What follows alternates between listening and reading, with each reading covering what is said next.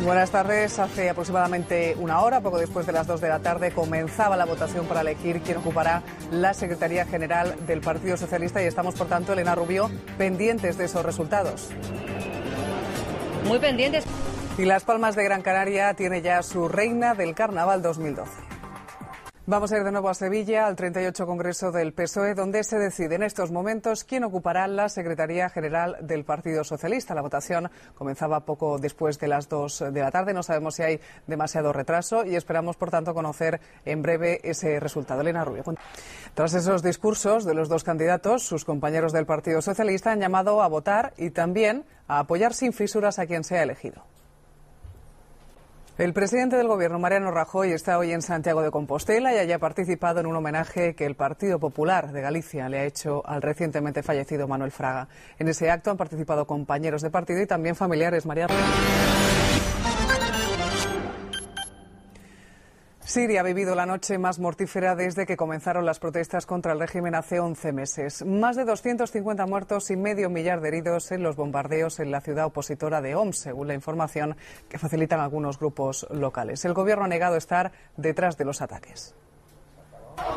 En Egipto han continuado los disturbios tres días después de la muerte de 74 personas en un partido de fútbol en Port Said.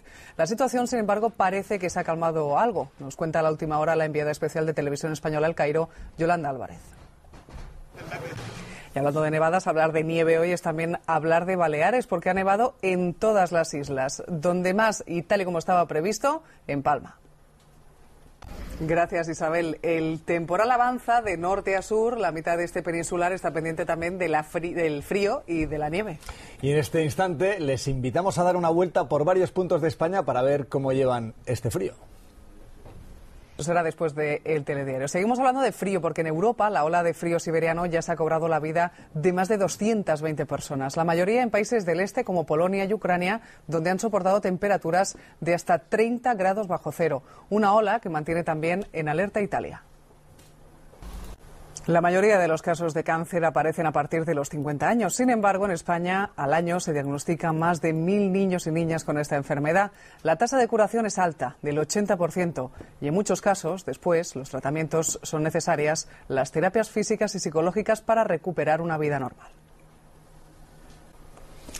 Hace unos días el entrenador de baloncesto y comentarista de esta casa, Manel Comas, anunciaba una retirada temporal para hacer frente a un cáncer.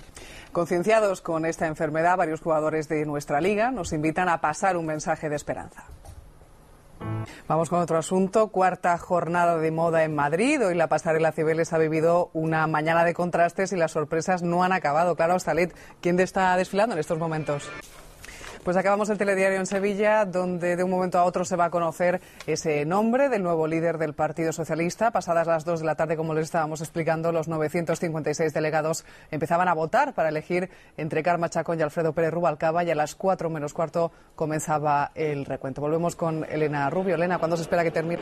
Gracias, Elena. Pues con esa última hora les dejamos. Ya saben que en Radio Televisión Española, como siempre, tendrán puntual información sobre esta y el resto de noticias del día, aquí en la 1, en el 24 horas, en RTVE y también en Radio Nacional. Nada más, pasen una buena tarde. Hasta luego. Hasta luego.